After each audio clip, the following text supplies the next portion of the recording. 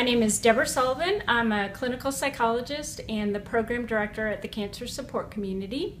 And tonight we're doing a program with uh, the chef and owner of the Tomato Head. Um, it's a vegetarian cooking program.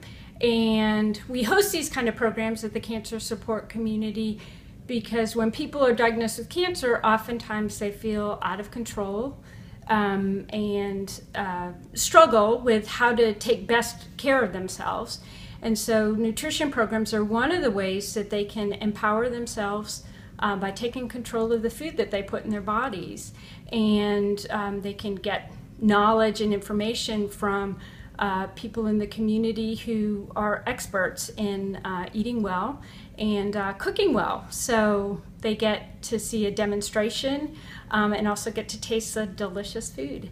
Uh, we also have a registered dietitian, um, Beth Booker, who comes and just talks about the nutritional properties in the food that they're eating. So um, it helps to empower people and it's just fun and social.